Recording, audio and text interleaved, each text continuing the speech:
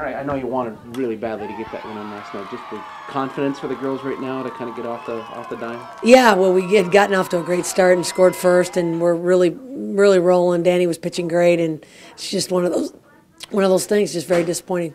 This weekend I know is getting big because there are not many conference games left here.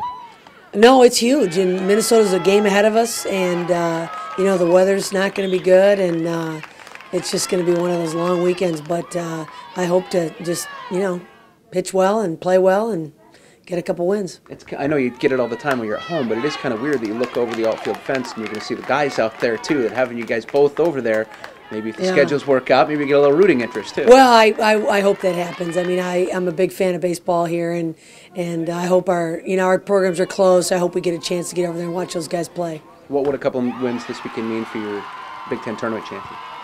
Well, I mean, you know, I think it's they're huge because you want to have a good seed going in, and uh, you want to just keep playing well. Our goal is just keep getting better each weekend, each game, and uh, you know, we just got to stay focused on the little things and and take them one at a time. Is it there right now? You're just like that couple inches away, and then as soon as you get it, that breakthrough's coming. Yeah, absolutely. I mean, I think I think the goal is to just have more consistent pitching outings and you know and and just more consistent in general uh, with our offense.